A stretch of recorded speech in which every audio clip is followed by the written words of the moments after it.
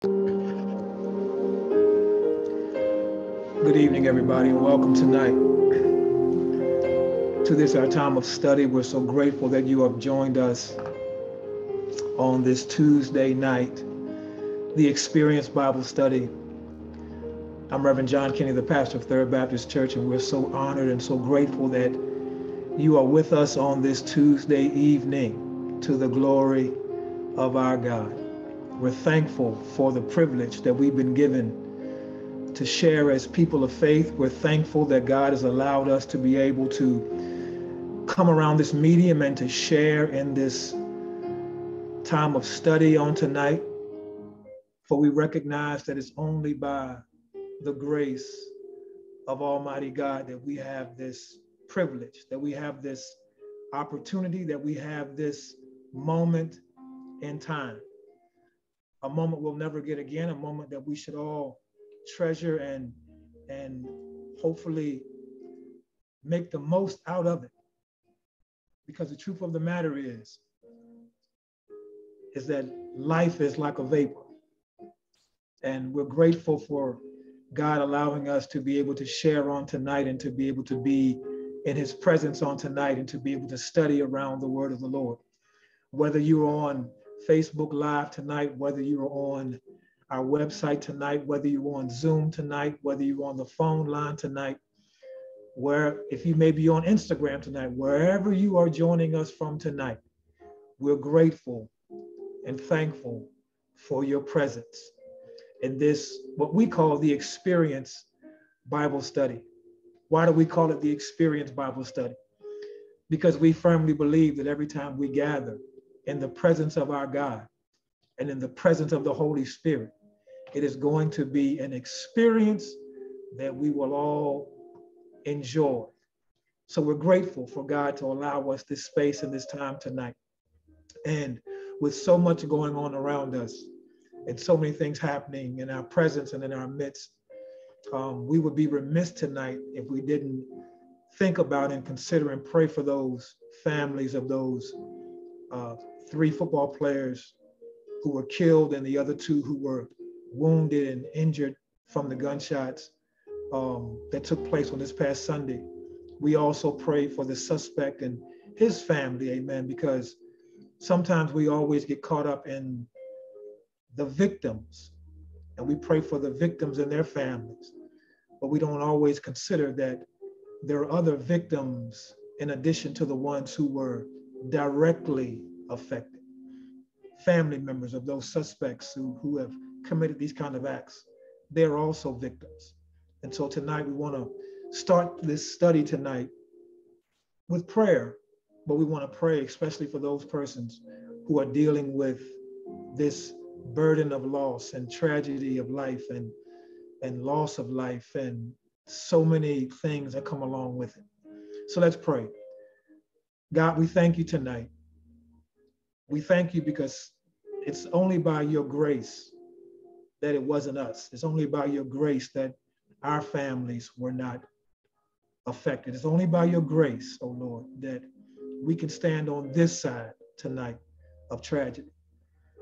And God, we're not going to be selfish and thank you for what you've done for us, but we're going to pray tonight for those family members who lost their sons, lost their brothers, lost their cousins and their nephews and their grandchildren, lost their friends.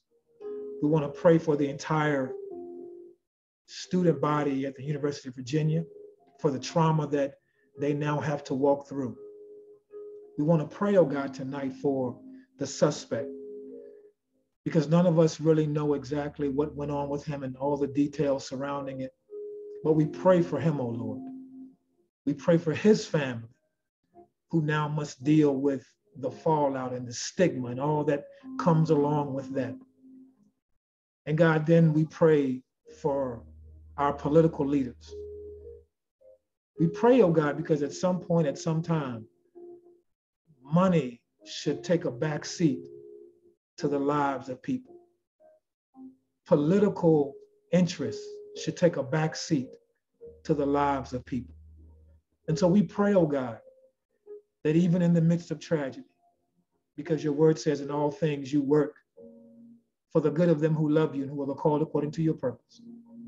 That even right now, God, you would work according to your sovereign and providential will and plan and help us to see what that plan and will is. Bring comfort, bring healing, bring peace. It may take a while for some to experience those things, but walk with them now, oh God, through that experience. And as we turn our attention tonight, oh Lord, to your word and to our time of study, open our hearts, open our minds as we begin now this road to recovery, that we too might find healing, comfort, and peace as your people. Bless us tonight, and we promise to give you the glory. In Jesus' name we pray. Amen and amen. And my brothers and sisters, we're so grateful tonight for all of you all being with us on tonight. We pray tonight that you will be blessed because of our time together. And we are going to look at tonight, we're going to be taking a look tonight at Matthew's gospel. We're going to be looking at Matthew chapter number 20 tonight, um, verses 20 through 28. And we're going to be looking tonight at this idea of uh, the road to recovery as it relates to serving, because that's one of the priorities that exists in the life of every believer. That God has saved us, not so that we could sit on an island by ourselves, but God has saved us and called us to a place of service. And so tonight in Matthew chapter number 20, there's an interesting story because what Jesus does is Jesus lays out for us this um, reality of what service is and what service is ultimately not. Jesus lays out for us this idea tonight about what service um, boils down to as it relates to all of us as believers, all of us as people of faith, that we we have to embrace and understand the, the conundrum, if you will, that is attached to this idea of service. Now, I want to give you tonight the, the key verse out of Matthew chapter number 20. And the key verse for us tonight is going to be verse number 28. And if you have your Bible, if you can turn there, get your Bible, get your notebook, get your pen, make yourself some notes tonight. Hopefully and prayerfully, it'll bless you in the process. Amen. So, um, in verse 28 of Matthew chapter 20, listen to what it says, the key verse. Jesus says, For even the Son of Man came not to be served, but to serve others and to give his life as a ransom for many. Now, when we read chapter 20, beginning at verse 20 down through 28, it's an interesting story because it talks about a mother who raises a question to Jesus um, about Jesus's placement of her two sons in these places of honor. That the mother is approaching Jesus and her concern or desire for her sons as it relates to their presence, participation, and purpose in the kingdom is that of prestige, honor, and notoriety. That's her perspective. That's her desire. That's her willingness for her sons to occupy a place of privilege, a place of prestige, and a place of honor. Now, what we have to understand and what we have to grab hold of before we go any further tonight is that she was making reference or she was making mention or she was asking Jesus to do this for her sons who happened to be two of Jesus's disciples. What I want to suggest to you tonight, my brothers and my sisters, is that the invitation to follow Jesus, the invitation that Jesus gives us to follow him, comes with the expectation for us to serve Jesus. that we're not called to follow Jesus. We're not called to be his disciples and not have the calling come with an expectation of service. That God invites us as believers, God invites us as disciple. God invites us as participants in God's plan to be an extension of the kingdom of God in the world that we live around. When Jesus called these brothers, when Jesus invited them to come alongside him, the expectation would be that they would also be servants in God's kingdom. That service is the expectation for every believer. Now, I know I may be preaching to the choir, but there may be somebody who's listening to me tonight in one of those virtual spaces and, and you have become settled and comfortable with just being a Christian, settled and comfortable with just being a person who names the name of Jesus. But what I want you to understand is that God has called you for so much more than just having the name Christian attached to who you are. That what you and I have been called to do is we've been called to be disciples. And as a part of our discipleship calling, we've been called to serve. And when we think about the life of the church today, and we think about the church, the placement of the church in the world around us today, the placement of the believer in the world around us today, there can be no greater road to recovery for all of us than to recover this idea of what it means to be a servant in the mold of Jesus Christ, a servant who models the, the, the discipleship calling that's on our lives as people of faith. So, again, the invitation to follow Jesus comes with the expectation that we are going to serve Jesus. Now, let's look at the storyline tonight because it's going to highlight for us several things. It's going to highlight for us this kingdom contradiction. It's going to highlight for us this kingdom conviction. And then it's going to highlight for us kingdom submission. So if you're writing down, write those down. Kingdom contradiction, kingdom conviction, and kingdom submission. So let's begin at verse 20 in Matthew chapter number 20, where it says, Then the mother of James and John, the sons of Zebedee, came to Jesus with her sons. She knelt respectfully to ask a favor. Jesus asked, What is your request? He asked. She replied, In your kingdom, please let my two sons sit in places of honor next to you, one on your right hand and the other on your left. But Jesus answered by saying to them, and this and the the innuendo here is not just to the mother, but to these two sons of hers. You don't know what you're asking. Are you able to drink from the bitter cup of suffering I am about to drink? Not only was he speaking to the two and the mother, but he also has the other disciples that are listening in on what this request is. So there's a room or a gathering, a collection of people that now have to hear what Jesus is saying.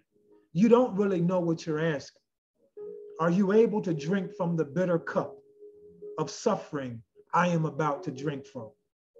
Oh, yes, they replied we are able. Now we're not quite sure who the they are. We don't not we're not quite sure if the they were the two sons, if the they were the two sons and the other disciples, or even if the they were the sons, the disciples, and the mother. We're not quite sure who the they are in the group, but they answered. Collectively, some people answered and said, Oh, yes, we are able to drink. So Jesus tells them, we don't know again who the them are. It could be a collection of all of them. It could be just the brothers. It could be the brothers and the mother. We have no idea. Jesus tells them, You will indeed drink from my bitter cup, but I have no right to say who will sit on my right or on my left. My Father has prepared those places for those he has chosen.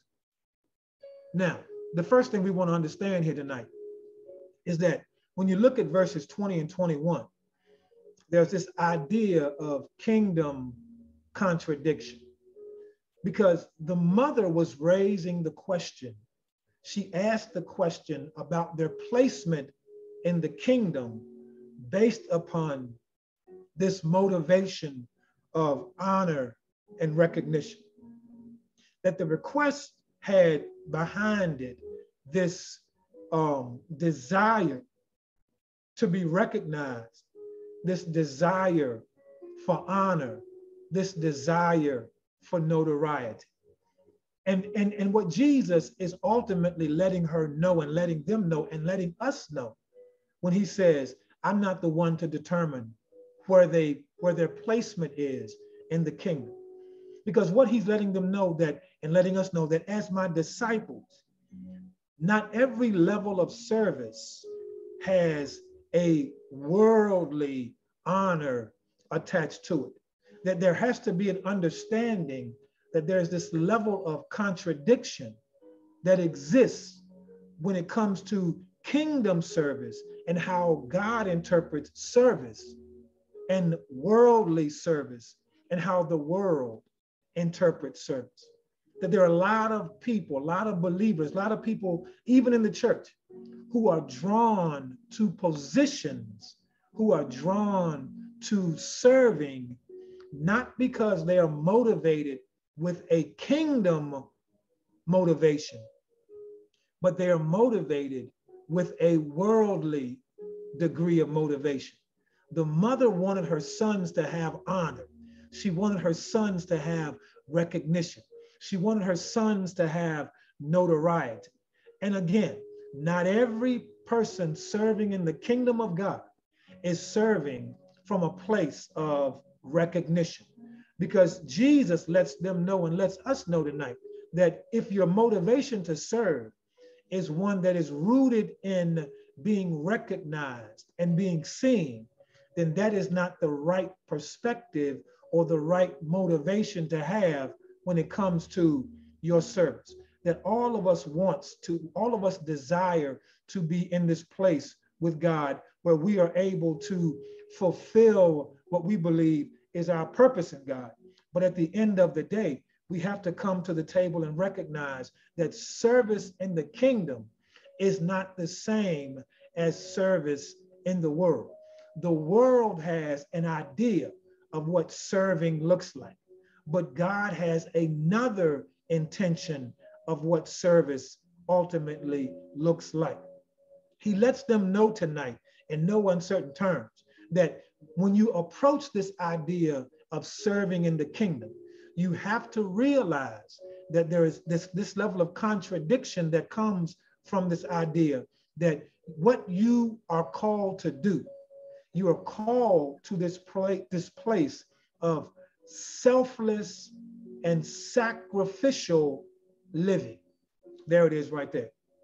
That they want roles of service. She wants roles of service for them. And he says to them, listen to what he says when he tells them that you don't know what you're asking for. Because not everybody is fully equipped to serve in the kingdom of God.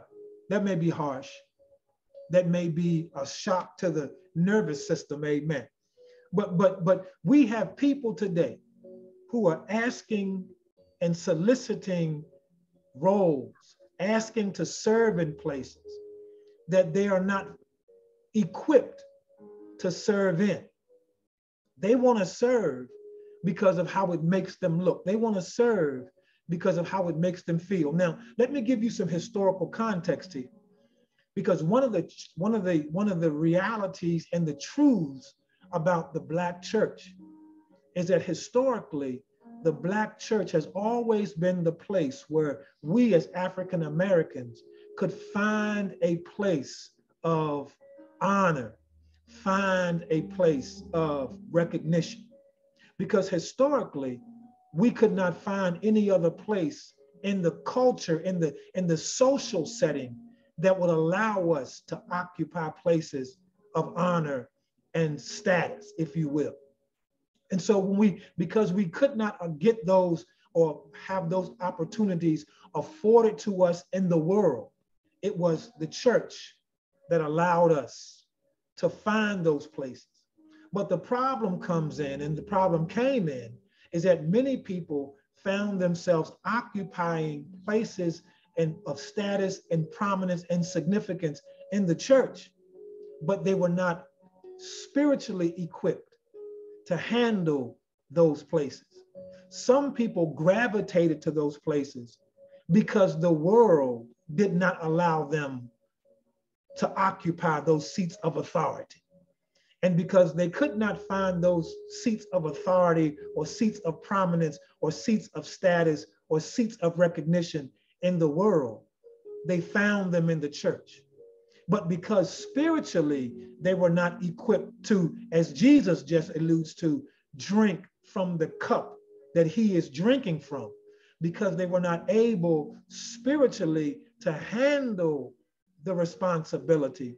They did not fulfill the kingdom obligation that God had or the kingdom expectation that God had with their service in the church. See, we have to be careful because there is this attractiveness that comes along with serving in the kingdom. There is this attractiveness, this seduction that comes along with serving in places of notoriety and places of prestige and places of honor. And if we're not careful, the seduction of the position will blind us to the severity of the responsibility that comes along with it. Look again at verse 22 when Jesus says, You don't know what you're asking. Are you able to drink from the bitter cup of suffering that I am about to drink from? Now, what is Jesus alluding to here? What is Jesus making reference to? Well, Jesus is letting them know that if you're going to drink from this cup, that there has to be a willingness on the person's part to be killed. Here it is to be killed by a death that has been appointed by God. Jesus is now looking beyond the failure of the individual disciples. And he's letting them know that to drink from this cup, you are you have to sacrificially be willing to die the death that God has appointed for you to die. There it is right there. So, and we don't talk about this kind of stuff in the church any longer because we we somehow we we believe that this this self-denial this self-sacrifice, this, this element of suffering that we're called to partake in is something that we want to disconnect or disassociate from the reality of what serving really looks like. And if we're going to get back on the road to recovery as it relates to the priority of serving, we have to understand that if we're going to drink from the cup, and we must drink from the same cup that Jesus, the bitter cup that Jesus himself drink from, we have to understand that there's going to be this, or must be, this willingness from our on our end to allow ourselves to endure or embrace or participate in the quote unquote appointed death that God has ascribed to our lives. And it may not be, and it not necessarily is, this physical dying, but it is a spiritual dying. It is a fleshly dying. It is a dying to the personal desires that we have and that we bring to the table when it comes to our relationship with God. So Jesus is lifting for them this kingdom contradiction the mother wants for her sons to occupy this place of prominence. The mother wants for her sons to occupy this place of status. But Jesus is telling her, Your sons must be willing to drink from the very cup that I myself am going to drink from. And he wants to know can they drink from that cup? Can they drink from the very cup of suffering that I myself am drinking from? So when we talk about serving, when we talk about the priority of serving, there has to be a firm understanding that number one, that there's going to be a kingdom contradiction to the level of our service, that we are not going to be able to serve God in the manner that we desire to serve God, and that we have to understand that honor and recognition is seductive in the kingdom of God, that we have to drink from the very same cup, the cup of sacrifice, the cup of self denial, the cup of, of, of, of spiritual death in order for us to fully embrace and fully live out the calling and the expectation that rests on all of our lives. So he tells them, he says, Yeah, you're going to drink from the same cup I'm drinking from, but I am not able to tell you which place you're going to occupy.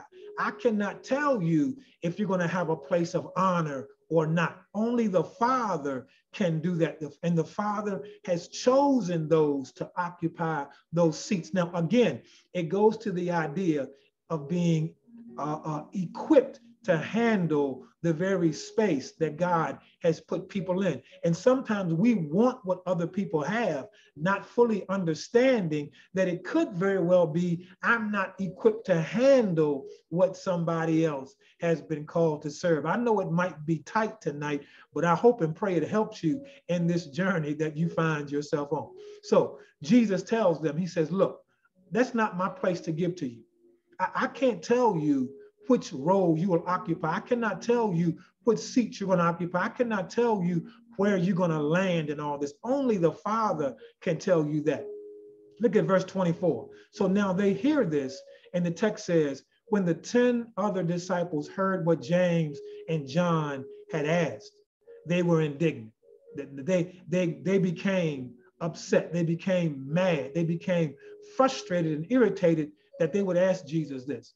But Jesus called them together and he said, You know that the rulers in this world lord it over their people, and officials flaunt their authority over those under them. But among you, it will be different. Whoever wants to be a leader among you must be your servant.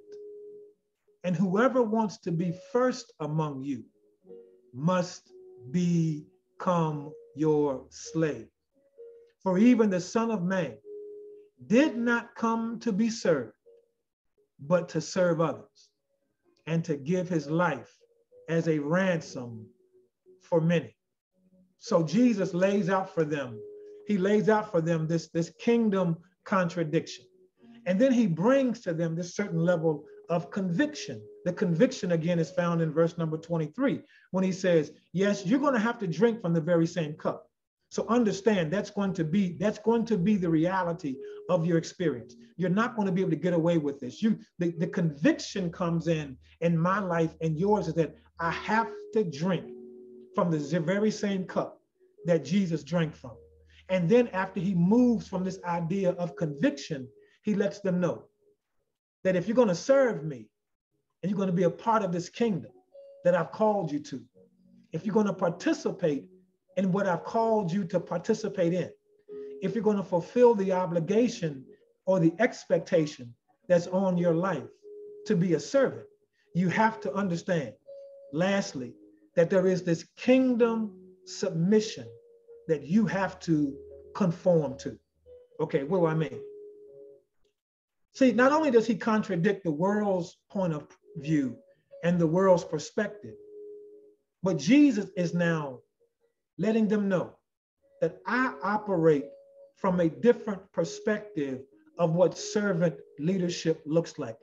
The perspective that I have and the perspective that I'm operating from is not the same perspective that those in the world operate from. Serving God demands us to have a greater understanding of what serving God is really all about. See, kingdom service demands a level of humility that the world frowns upon. Serving God come brings with it a level or a degree or understanding of this thing called humility. And the world does not always promote humility. The world promotes status. The world wants you to believe that you are somebody if you remind somebody that you are somebody. The world wants you to understand or to operate from a perspective that you're only significant if you're stepping on people and you're lording it over people and you are letting people know that you are above them. But Jesus says, if you're going to serve with the mindset that I have, you do that from a perspective of knowing that humility should be your guiding force, that he is oriented to a different perspective of what service looks like. And he's trying to let his disciples know that my perspective needs to be your perspective. Now, that may be hard to fathom and hard to grasp because you are inundated with a perspective that is totally antithetical to how the kingdom of God operates. You, you are shaped and molded and influenced by perspective that is not the kingdom of God's perspective. And so you now have to reorient yourself. There it is right there. Reorient yourself to how God operates and how God defines service how God defines leadership, how God defines servant leadership. That Jesus now is modeling for them and for us what service ultimately looks like. He, he reveals to his disciples, here it is right here. He reveals to his disciples on a, to a, on a greater level what a real relationship with God looks like. See, a relationship with God is not based upon us naming God's name. a relationship with God is not based upon how many times we can call God's name. But a relationship with God is really going to be determined, based, revealed, and even manifested by the level of our submission to Almighty God, by the level of our humility to Almighty God, by, by, by how far we are willing to go down in our sacrifice, in our selflessness, in our willingness to be shaped and influenced by the very Spirit of Almighty God. Jesus says again, listen to what he says. He says, if you want to be a leader, you first have to be a servant. If you want to be great or first, you must become a slave. See, the world flaunts their authority. The world wants you to know that they're over you and you're under them. The world wants to remind you that, that you answer to them. He says, but among you, it's going to be different. That's not how you're going to operate. That's not how you're going to think. That's not how you're going to approach this thing. Because if you want to really get a true glimpse, he says, of what it looks like, look at me. He says, I didn't come here to be served. Now, if anybody had the right to lord service or lord authority over somebody, it was Jesus. If anybody had the right to say, I am over you, you are under me, it was Jesus. But he says, I, didn't come for that. I didn't come for recognition, for status, for notoriety, for fame. I, I didn't come to see my name in lights or to hear my name called. I came to serve others and to give my life as a ransom. What does that mean, preacher? Because you lost me a while ago. You, you, you, I checked out on you a while ago, so help me, bring me back now. Here's what he's saying. He's saying that our journey with God is a progressive journey that leads us to a place called glory. Our journey with God is a progressive journey towards the glory of God.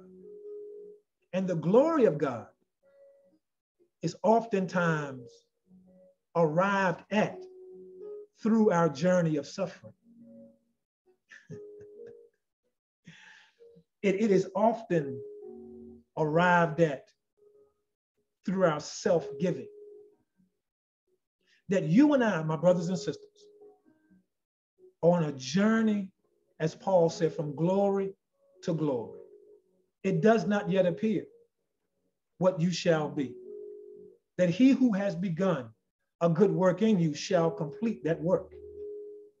So Jesus is saying to them, He's saying that I've come to give my life as a ransom. I've come to lay it down. I've come to sacrificially give of myself. Because as I give of myself, I'm moving to glory. Help us, Holy Spirit.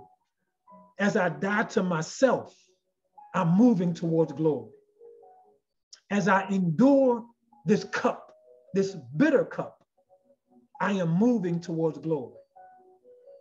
As I endure the hardship and the heartache and the heartbreak, as I, as I deal with the sacrificial dying of myself, I'm moving to glory. See, glory in the kingdom is not arrived from the place you occupy.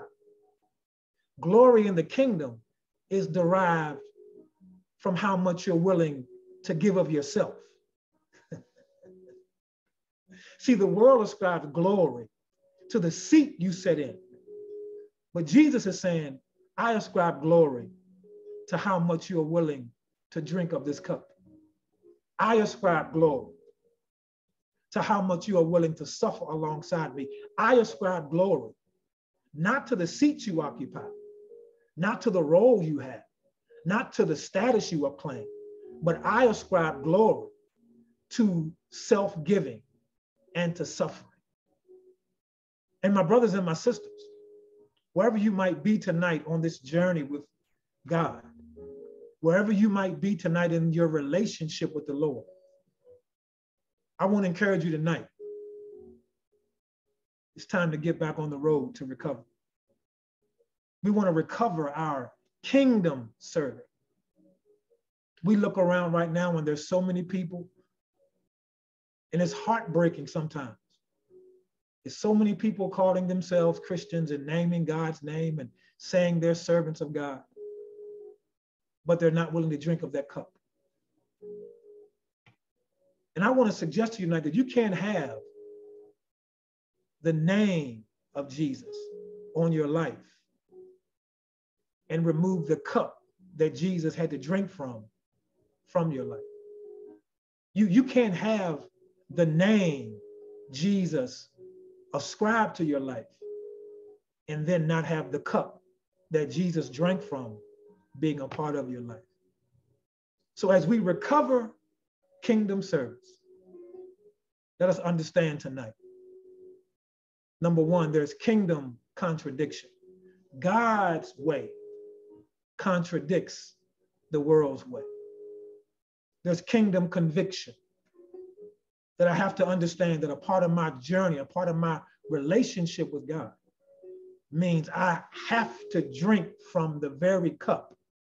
I have to experience and be a part of the same process that Jesus was processed through.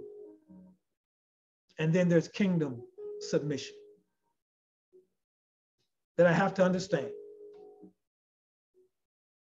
that I am to be different. I have to operate from a different perspective. I have to be moved and governed by a different influence. And that is our challenge. Not just as individuals, but as the collective body of Christ. And it is my prayer tonight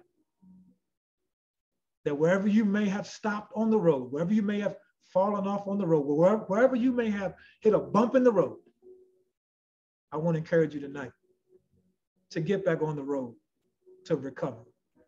Recover your kingdom service to the glory of our God. Let's pray. Father, we thank you tonight. We bless you and we honor you. We praise you and we give you all the glory. We thank you, God, tonight for giving us this space and for giving us your truth. And we ask you now, oh God, to help us to get back on the road. Wherever we may have stumbled, wherever we may have fallen, wherever we may have just stopped, help us to get back on the road. Bless my neighbor tonight, oh God, with the peace of knowing that you who have begun a good work in them, you will surely complete it until the day of Jesus. Let us reclaim our priorities as people of faith and let us embrace the bitter cup that you have placed in our hand. Because the call to discipleship comes with the expectation of service. Bless us now. In Jesus' mighty name we pray. And all the people of God say amen and amen.